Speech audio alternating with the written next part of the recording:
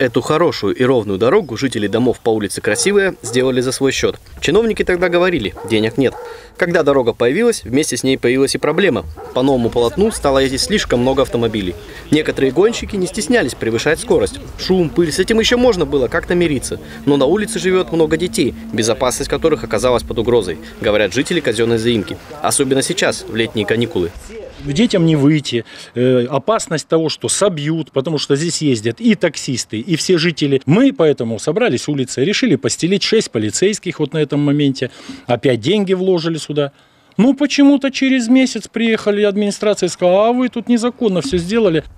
Оказалось, одному из жителей улицы, который не вкладывал деньги в асфальт, надоело ездить по искусственным ухабам, и он пожаловался куда следует. Безопасность за своих детей привела к жителей к такой ситуации, что они решили своими силами уложить лежачие полицейские. После этого начались проблемы с другими жителями улицы, которая дальше. По словам Сергея Попова, за ограничение выступает 15 семей, против лишь 3. Причем возле их домов лежачих полицейских нет, и можно выбрать другие пути объезда.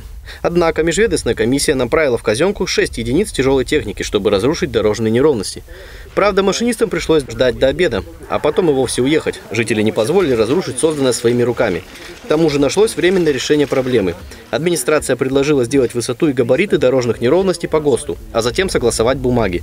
Далее срок в 20 дней. Если не удастся узаконить, либо не будут требования ГОСТ выполнены и действующего законодательства, то тогда данные неровности будут демонтированы. Жители опасаются, что бюрократические препоны не дадут им вовремя узаконить дорожные неровности, но борьбу свою прекращать ни в коем случае не собираются, даже несмотря на грозящую им административную ответственность. Ведь, по их словам, ограничить скорость машин таким способом решили исключительно ради безопасности.